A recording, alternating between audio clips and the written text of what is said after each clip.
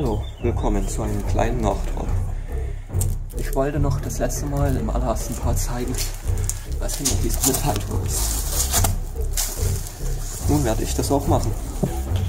Das hatte ich ganz vergessen. Beim letzten Part noch mit zu erwähnen, was hier unten ist. Eigentlich ein ganz normaler Raum. Außer dass hier eine Menge Teelichter sind. Oder wenige Teelichter. Gut. Hier sind dann mehr Teelichter. Wesentlich mehr Teelichter. So, und hier die Metalltür vom Keller.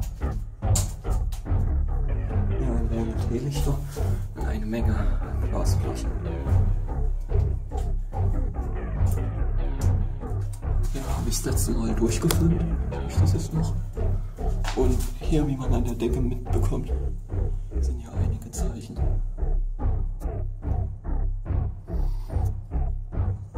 So.